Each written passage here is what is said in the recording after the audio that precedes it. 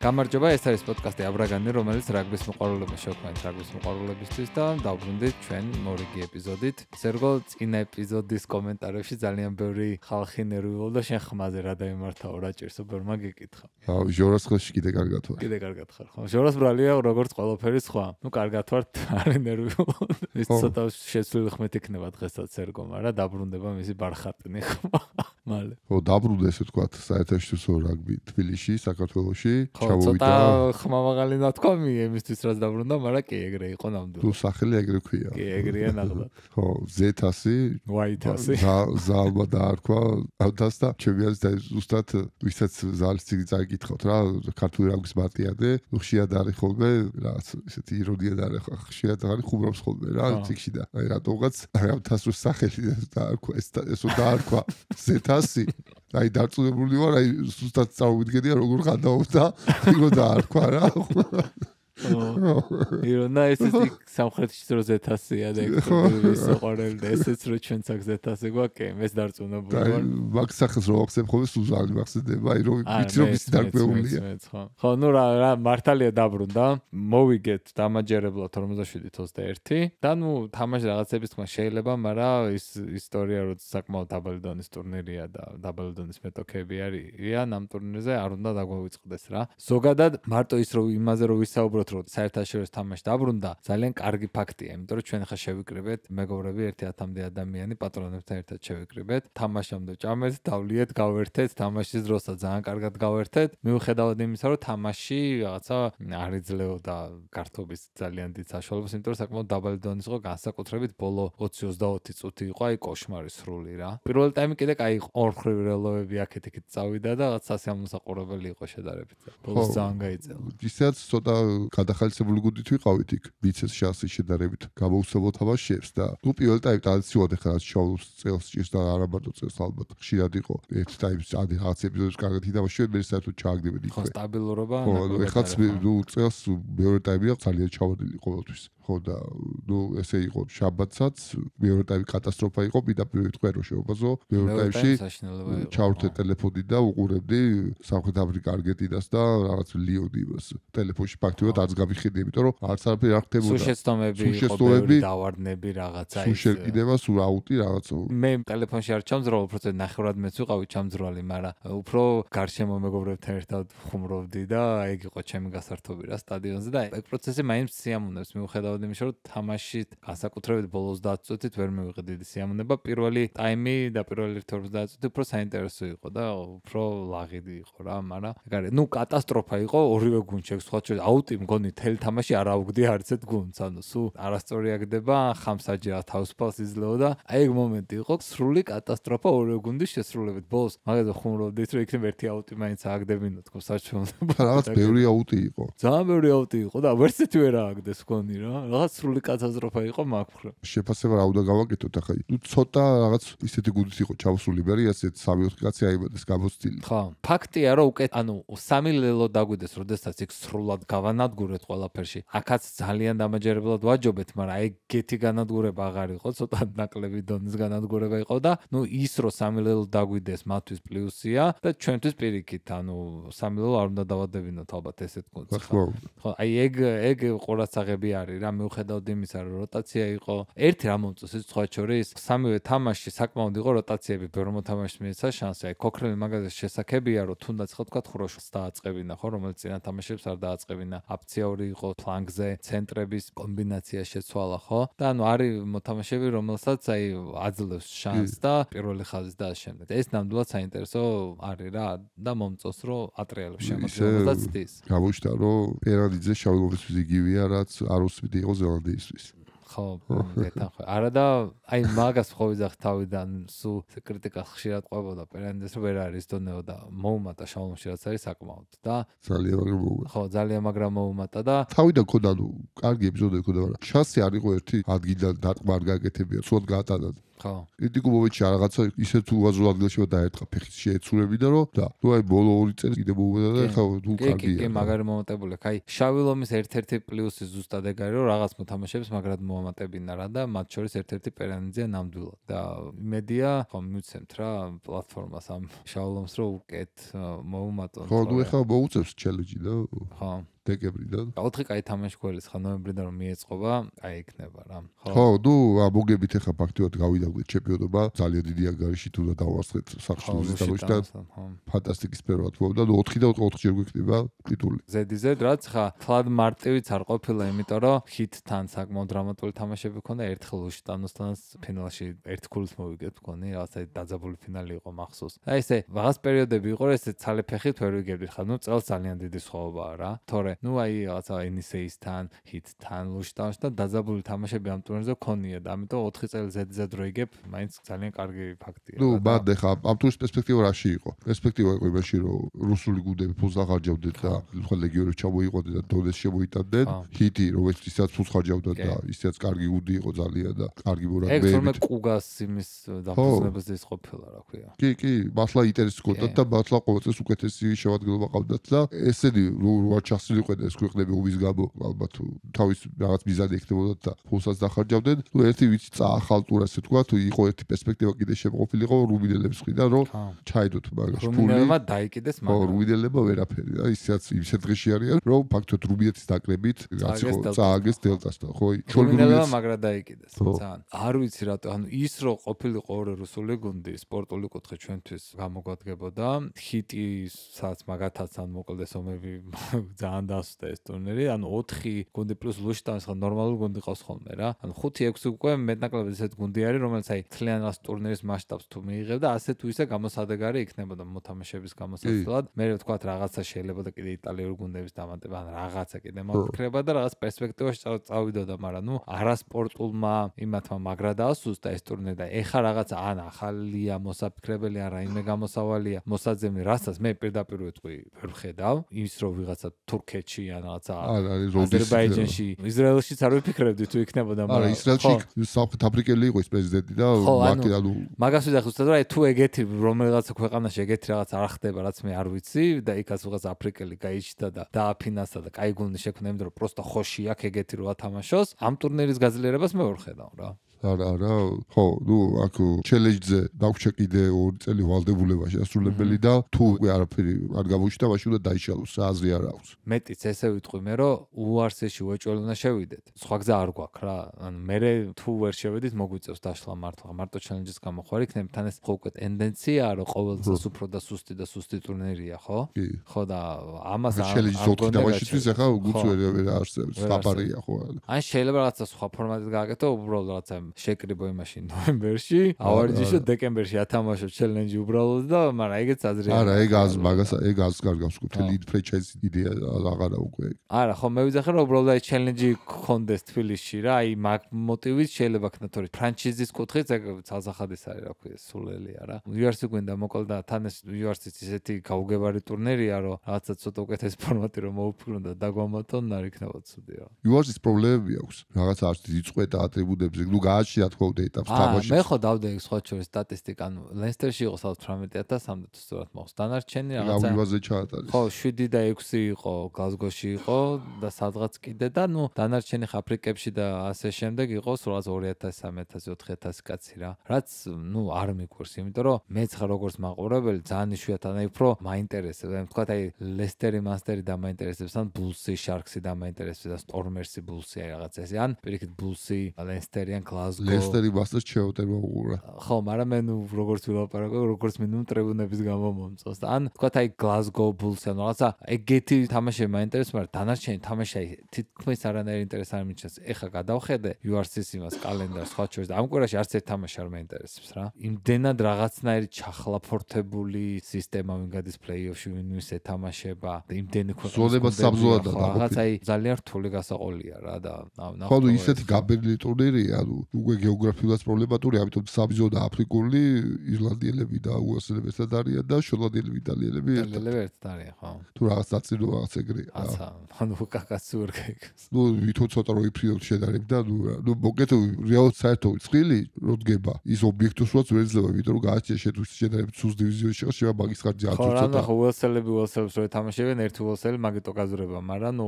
ყველა უესლები ფრანჩიზა სუსტია ვიდრე ირლანდიური დიაში და ხო ეგრე ეგრე ხდება ხოლმე. ზერაგვის რაღაცა მსგავსია. აი, გადავიდეთ შედეგთებაზე, შედეგთება გვექნება ნიკა ჩალთაშვილი ყავდა სტუმრად ზაზა ხასაშვილი თავის პოდკასტში, ვიდა აქტივას შევეხოთ, ძალიან საინტერესო იყო. გაიხსენა ხასაშვილმა. ნუ ეს ვთქვათ, როგორ დაიწყო, ეს ვთქვათ, დამოუკიდებელ საქართველოში უკვე რაგბის განვითარება, რა თქმა უნდა, იყო ტრადიციები ადამდე საბჭოთა საქართველოში ერთუშეულად ყავდა ლოკომოტივი თასისფლობელი იყო, აია ჩემპიონი და თასისფლობელი საბჭოთა ჩემპიონი აია. მოგეთ ტრადიციები ერთუშეულად იყო, მერე მოყო დიდი გრევა ქვეყანაში ოვიდა, რა ვიცი, რაგბის დაღუპვაც, ფაქტიურად კატასტროფა ხო ქვეყანაში და აი ზუსტად იმაი 95 წლიდან ეს პერიოდი შეეხო კაზაშვილი, როცა უკვე ბიზიდა გეგიზე და კაზაშვილმა ესე თქვათ მოკიდეს ხელი ამ საქმეს და პირდაპირ ვიტყვი ერთუშეულად აი მათ კითხვა არსებობს, რო არა მაშინის დაბიჯები კი, დღეს ძალიან პროგრესული ნაბიჯები იყო რა, ანუ ძალიან ესე თქვათ ჩარჩოდან გასული გადაწყვეტილებები იყო მიღებული ამ პოდკასტ რომ მოსმოთ ბევრი დაინახავთ. თუნდაც ლეგიონერებში წაყვანა და როგორი სტილით მიყავდათ და ბრენდინგი რო გააკეთეს მოთამაშეებს, ანუ ქართული მოთამაშის იმიჯი შევქმნითო და ამაზე ბევრს მუშაობდითო და ესეთი რაღაცები გადაწყვეტილებები იმდენად კარგი და სწორ დროს იყო მიღებული, რომ შედეგიც გამოიღო და დღეს ეხა აქ ვართ და დღეს არ გვიკვირს რომ მოუგეთ უელს მოუგეთ იტალიას. უკვე ეს ჩვენი ისტორია ისტორია არის და ნუ ყველაფერი რეალურად მაშინ დაიწყო. მე ზოგადად ვიტყვი რომ ანუ ჩემთვის ფლიად ქართულ სპორტი ვავიღოთ რა.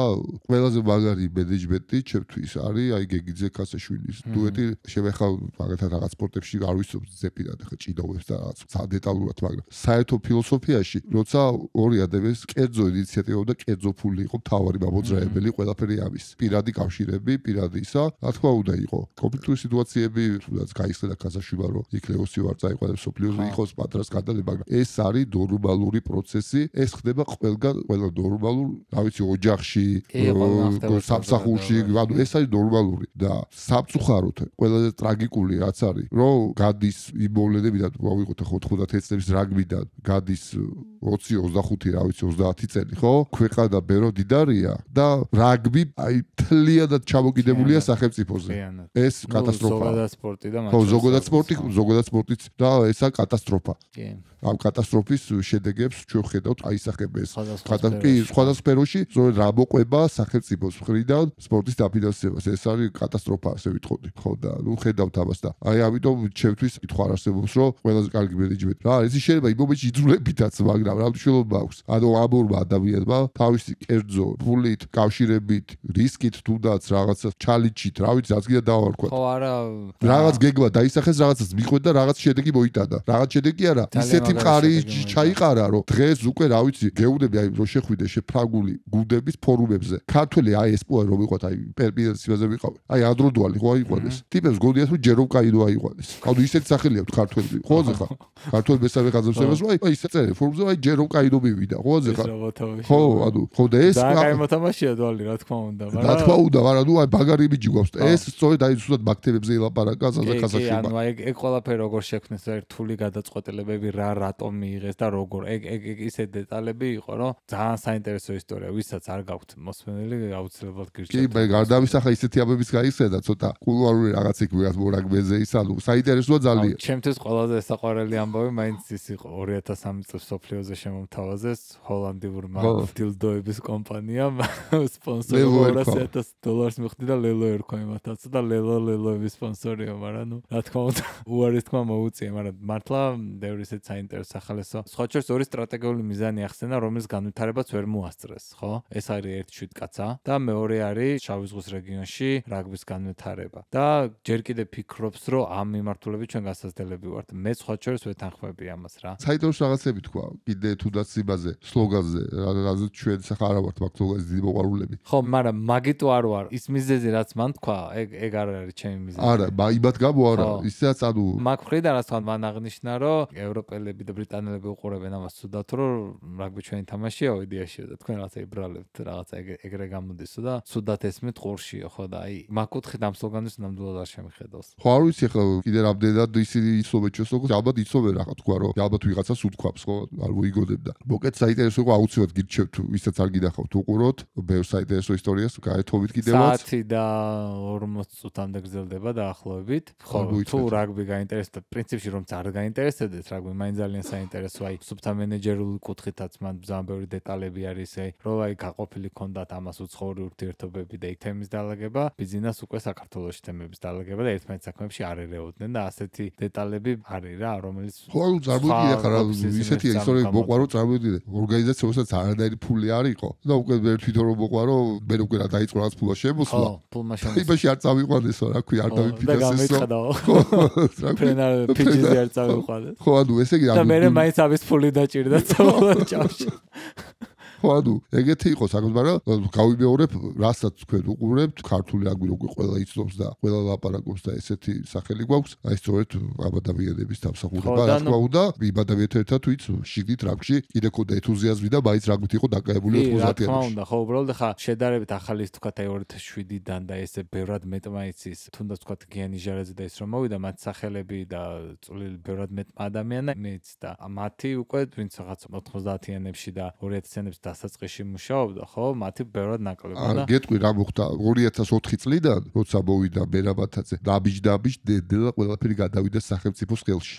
და სახელმწიფო როცა ერევა, იქ ბაბას მოყვება შესაბამისი, ხედავთ ხო, ბევრი სახელის გატეხვაც მოყვარაკში, ხო, ეს შეიძლება იქ და მაგაზე მე შეგვიძლია ცალკე ვილაპარაკოთ, მაგრამ ნუ 2004 წლიდან მოკეთ სახელმწიფო დედა მიიტაცა რაგბი ესე ვთქვათ. კაი, გადავიდეთ დაუბრუნდეთ ხო უფრო სპორტულ მოვლენებს. სამხრეთში დასრულდა ფალავნობა და გამარჯვა სამხრეთ აფრიკა ამერიკამ, რომელმაც, ну, თითქოს კი თეორიული შანსი ჰქონდა არგენტინას, მაგრამ ყველა მიცოდით, რომ არ ჰქონდა და დაამტკიცა ეს მოედანზე რომ არ ჰქონდა და 2019 წლის შემდეგ პირველად მოიგო ფალავნობა, მაგრამ იგი იყო შემოკლებული ფორმატით სოფლიოს გამო და ისე დიდი ფორმატით 2009 წლის მერე აღარ ჰქონდა მოგებული სამიერი ხო და ну, რაღაცა ძალიან დიდი ისტორიული გამარჯვება არის რეალურად მათთვის. კი არის ორჯერ სოფლიო ჩემპიონები, მაგრამ ფალავნობა და ზელანდიასთან არ ჰქონდათ მოგებული თამაშები და ყველაფერი დაიბრუნეს მოკლედ ასე ვთქვა. ვთქვათ რა და დიდი გამარჯვება იყო მისთვის და მიღწევა რა. კი, ფაქტობრივად მე მგონი ესე დამაჯერბად ესეთი დომინანტი გუნდით რაგბი ჩემპიონშიპში ეგეთი იყო 2009 წელს რა. მოგო და მაგის მე რეალურად არ მოგია 19-ში მოიგე შემოკლებული ვერსია ერთ-ერთი თამაში რო არის რა. ხო, ეს უზელანდია იგებს როგორ წესი არის. და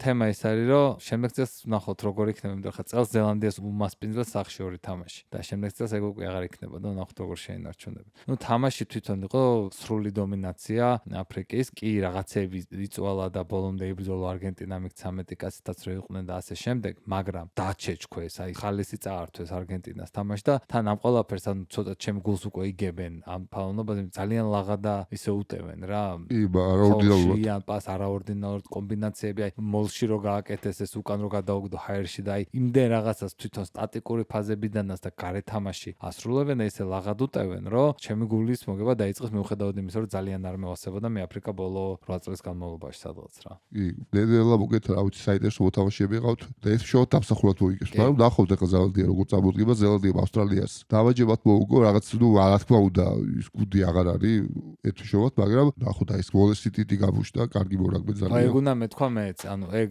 გამოჩდა და საკმაოდ კარგად თამაშობს. მესამე ხაზში უბრალოდ მოსამატებელი აქვს მაგრამ პოტენციალს აშკარად ხედავ. მის გარდა ძალიან მომეწონა ასევე ჯორდანი და კლარკი რომელმაც ძალიან დამაჯერებლად ითამაშეს მაგრამ ნუ აი რამდენიმე ესეთ სახე კიდე ჭირდება ზელანდიას იმისთვის, რომ ნახოთ სადამდე შეუძლია მისვლა და აუცილებლად საფასუხო აფრიკისთვის შემდეგ წელს რა. ერთი რათაც გამოირჩეოდა ეს თამაში ზელანდიის ის არის, რომ ბოლო 20 წუთი საკმაოდ დამაჯერებლები იყვნენ ამ ტურნირზე ბოლო 20 წუთში მგონი საერთოდ ქულა არ ქონდათ აღებული. ხო და აი ეს არგის ნიშანია, მაგრამ ნუ ზელანდიისთვის ეს ტურნირი ცალსახად, თქვა ფიასკო აღიქმება რა, იმიტომ რომ სუ ზელანდია იგებს ეხა წააგო და თან ისე წააგო, ორი თამაში წააგო აფრიკასთან, არგენტინასთან წააგო. ეს ცალსახად რეიზორისთვის დიდი დარტყმა და აქედან უნდა დავრუნდნენ. კეინ მაიღო გახდა ცენტურიონი ამ თამაშში და ამაშა იყო მთავარი მსაჯი, რაც ძალიან დიდი მიღწევა უკვე ქართული რაგბისთვის, იმიტომ რომ ბლეცლოს თამაში იმსაჯო, თან ასე დონეზე იმსაჯო, იმიტომ რომ მე ძალიან ბევრმა გულშემატკივრმა კარგი კომენტარები დაუწერა. არის ქართული რაგბისთვის და პირადად ამაშკელისთვის რა თქმა უნდა ძალიან დიდი მიღწევა და ტაში ეკუთვნის მას. ხო, ნუ ლიგას ალბათ ერთი დარჩა რო თქვა, აფრიკა, ზელანდია იმსაჯოს რაღაცა, რაც ეგეთი პრინციპული კლუბი თამაში რაღაც ანუ და სოფლიოს ფინალი. სხვა ხების იქეთ ყველაფერი იმსაჯა უკვე კი, კი, 6-ერი სოფლიოზე იყო, ნუ ყველაფერი იმსაჯი ძალიან მაგარია. ამ მიღწევების იმის თქმა და გავიწყო, რომ ეცებეთი გახდა აფრიკის ყველაზე მეტი კეპის მფლობელი მოთამაშე და ესე ძალიან დიდი მიღწევაა და კი, ძალიან დიდი მოთამაშე. მან შეიძლება სხვა რაღაცა 150-150 კეპს მიუკალკუნოს თუ ჯამრთელად იყო, იმიტომ რომ შემდეგ სოფლიოს თამაშზე გაპირებს, როგორც ხედავთ ჯერჯერობით და მალე არ დაანებებს თავს. კი და ასვედებენ ახლა მაგას დიდელა, მაგის რესურსი აქვს აფრიკას ზედმეტად არ დათვირთავენ. ხო, ულოცავთ აფრიკას და შევეხოთ ბოლოს ჩვენ ლეგიონერებს. აჰა. კი ბატონო. ძალიან მაგარი თამაში ქონდა გორგაძეს. პომ მოიგო, მაგრამ ესე თავისუფალი თამაში არ იყო, მე თავიდან სტად ფრანსზე წავიდა წინ და ზუსტად გორგაძის ლელოთი სხვათა შორის რომელიც ძალიან კარგი ლელოთ დადო აი სიჩქარეზე გახვრიტა ორი ადამიანი და ძალიან აგრესიულად შეუტია. მან გავიდნენ წინ და ნუ მთელი თამაში ამ ადამიანის აი ხანდახ თამაშებს უყურებ ხოლმე ყველა თამაშს ვერ ნახავ და უყურებ იმით რა ქვია. ცოტა აჩქარებული ტემპით და ხუთწამიანი გადახვევებით რა. რამდენჯერაც გადაახვევდი იმდენჯერ გორგაძის მომენტს გამაზავდი იმ დრო სუ ბრთთან არის. სუ ბოჭვაზია ან ურტყავს ან იღებს ან გადაყრაშია გადაყრაშიც არაგვიანებს იცის სად უნდა იყოს როდის და რა როგორ უნდა გააკეთოს დაცვაში და შეტევაში და ორივე მხარეს არის აქტიური. და ნუ უმაღლეს დონის მორაგბია რა რა უნდა ვთქვა კი ნუ ეხლა დაიწერა რომ რასიგია მისი დაინტერესებულიო და ალბათ ეხლა ბეკას ბოლოშას იქნება რომ თქვა დიდი ტიტულების ვითამაშოს ესე თქვა საკუთო დონეზე ყოდა რა თქმა უნდა ძელია რა ტიტულების მოგება. ნახოთ ეხლა თუ გადავიდა აი რასიგის დონის გუჩი თუ შეძებს ლიდერობას. ხო ანუ ბორდოში იყო და ბორდოში ტრამვის გამო ვერ აიწყო კარიერა იმიტომ რომ თავიდან დაიწყო თამაშები მან და მე ტრამა მიიღო და ნუ ვეღარ ჩაჯდა შემადგენლობაში ნაკრებში წამოვიდა და ამ შემდეგ. ეხლა ძალიან კარგი პერიოდი აქვს და შესაბამისად რასინგმა რო მომისურვა მის გადაყვანა საერთოდ არ მეკვერს. თან კოლის წავიდა, მესამე ხაში გამოვცებ თავდასადგილ და იმედია გადავა და იმედია იქაც კარგი კარიერას აიწყოს, იმიტომ რომ ძალიან მაგარი მორაგბე, რომელსაც ცოტა ტრამვება დატანჯა, მაგრამ უმაღლეს დონეზე თამაშობს. აი, ბექამ გასაკუთრებით ბორდოში რო იყო, ტრამვების ქონდა, მე დაკრევის სოფლიო იყო, მე პადებია დაეთქვა ტრამვაც ქონდა, ვერა ეწყო და როგორც კი გადავიდა ეს თქო საშუალო გუჩი და რასთავარია ბექამ დაარეგულირა დაკრევში ჩამოსვლები რა. იქ რაღაც ორი თამაში არ იყო. ანუ რაღაც სუზგუნდებთან ერთად ასე რაღაც რაღაცა უკვე აღარ ჩამოდიოდა და ეს რა თქმა უნდა წაადგა ძალიან გუჩი და იქ უკვე ლიდერია საყვარელი მორაგბია გუჩი მატკივრების. კი და თან რა არის, იცი? არის ხოლმე ხშირად რომ მოთამაშეებს წურავენ, ვათამაშებენ ბოლომდე ისე ამას უფრთხილებიან მაგრად, ანუ ისე თამაშებს თუ ასვენებენ რომელიც ასაგებიან რაღაცა და მოსაგებ თამაშებს სახლეს თამაშებს. შელეჩი სხვადასხვა შაშა ვაფშე არ თამაშის. ხო და ანუ ეგ ნიშნავს რომ ულიან და ეს ჩვენთვის კაია, იმიტომ რომ ის თამაშებს თამაშობს, კარგ თამაშებს თამაშობს, პლუს ამას შედარებით დასვენებული ჩამოდის ხოლმე ნაკრებში. ჩვენს თუ შეუწყობთ ამას ხელს, უბრალოდ დავეხმარებით, რომ უტრამო კარიერა კონდეს, ნაკლებად გადაიღალოს და რაც შეიძლება მეთხანს ეყოს მას ეს რესურსი, იმიტომ რომ ნუ აი ნარიაშვილი და სხვა მოთამაშეები, რომ ძალიან მაღალ დონეზე აქვთ მოთამაშეები, ბევრი ფაქტი ესეთ რომ გამოუწურავთ რა. კიდე შვანგერაძე მითამაშა მორიგი თამაში ლიონში, საკმაოდ დამაჯერებელი იყო ლიონმა მოიგო 40-38 კასტრთან დაძაბულ ბრძოლაში და შვანგერაძე ეთყობა რომ თამაშთან თამაშამდე უმატებს რეალურად რა. უფრო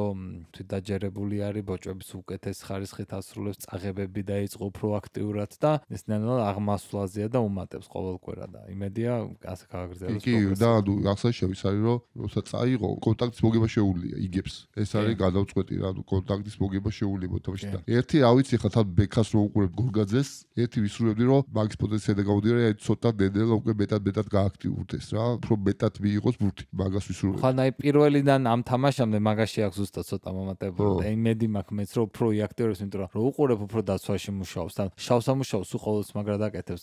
ბოჭვა ქონდა 14 ამ თამაში რაც ყველაზე მეტია. 9 წაღება უწერია, მაგრამ ამდენ წაღება მეფლად არ მახსოვს და აი ეს გადაადგილება მოედანზე მოძრაობა ეს რაღაცებში სტატისტიკებში სულ ლიდერია ხოლმე რა და ეხა უფრო მეტად იმედია დაიწყოს თავის თავზე აღებას, როცა გაუშინაურდება. ხო, ეხლა შედეტუშიც ძირითადად ჭყედებენ რომ ადოვერზე იქნება ლარუშეთთან გასვლაზე. მოგეთ მიიღო რა, კარგი პრაქტიკა. თავიდანვე ჩაჯდა შემოგონებაში ასე ვთქვათ რა. და მოგეთ სამხელს იშავს ისე გაწყობა რა.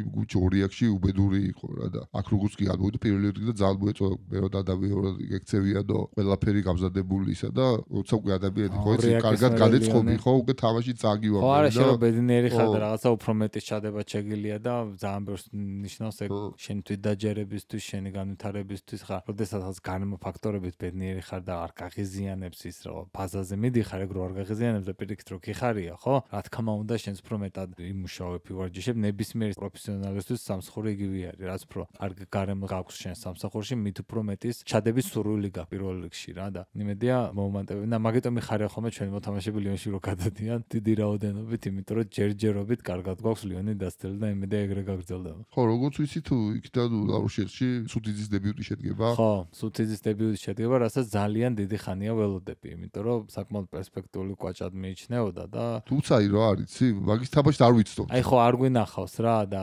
დიდი ხანია ველოდები, რომ აი როდის კომიჩდება, როდის და აი მეგონი ხო ორი ბურჯი ყავთო ტრავირებული და მოხვდა რა. ხო, ორი კვაჭი ხო. ხო, ნუ ჩვენთვის კაია. თუ გამოგვადგება, რა იმედია საინტერესო თამაშებს და დაველოდო ჯერ მაინც შემოგლობის დადებას საბოლოოდ. ჟორას მოტანილი ინფორმაციაა და ეხა გავიდა ჟორას ქვეყნებს გარეთ, მაგრამ ეს ჯერ 100%-იანი სიზუსტე. 24-ში გავიდა. ხო, 24-ში გავიდა. კიდე იყო იყო რამდენიმე კაი თამაში ამ მოქმეებზე. გამოვყოფდი გლოსტერ ბრისტოლს, რომელიც აუცილებლად სანახავი თამაშია. ორმხრივლელოები აი მუდმივი შეტევა, ლაღი თამაში იყო ძალიან და პირველივე წუთიდან რომ დაიწყო მაღალი შეტევით ტემპი და ლელოთი, ეგრე გაგრძელდა მთელი თამაში და დრამა იყო ბოლო წუთამდე. ჯორჯ ბარტონმა გაიტანა ჯარიმა და ისე მოიგეს ბოლოს და ნუ 100%-იანი შედეგი თურწყა და მართლა მაგარი თამაში გამოვიდა. ხო, კრისტიან უეიტი გახდა მანდის, რა ქვია. კი, კაილო დადო ერთი ძალიან. მაგის მეგოდი არ დავუდე რა ფიქრი შეაცვლა ძალიან Hellberg og Tore. Ja. ხაზზე გააყოლა ეს. ჰეტრიკი შეასრულა და გახდა რეკორდსმენი. პრემიერშიპში რეკორდსმენი არის ჰეტრიკების ფლობელ.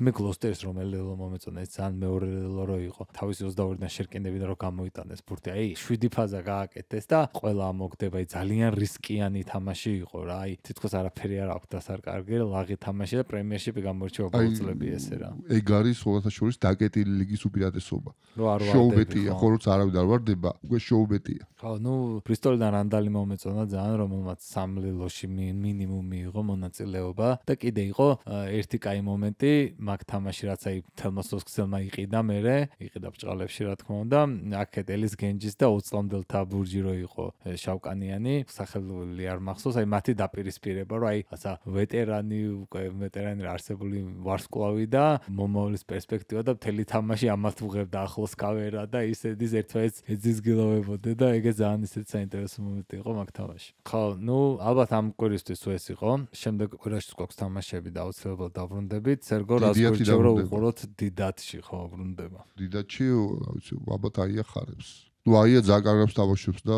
პირველში ალბათ მაგას. ხო, მე ჩემი აზრით ალბათ გირჩევდით რომ უყუროთ Northampton Saints Harley Quinn-ს. ორივე ლახტა გახსნილ თამაშს თამაშობს და წესით საინტერესო და კარგი საყურებელი უნდა გამოვიდეს და პარასკევს არის და მეორე თამაში რომელსაც აუცილებლად გირჩევთ რომ უყუროთ არის La Rochelle Lyon-ი, იმიტომ რომ აქეთ იქით საკმაოდ ბევრი ქართველებით იქნება დაკომპლექტებული და საინტერესო საყურებელი იქნება. ეგ უკვე შეფასარი იქ თამაში. მადლობა და კარგად ზამთარობთ. thank you